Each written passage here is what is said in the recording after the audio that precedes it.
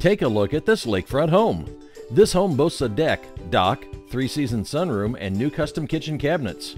You'll find two full baths with handicap shower tub in the master bath with double sinks. This home is complete with two heating and cooling systems, furnace gas, and heat pump.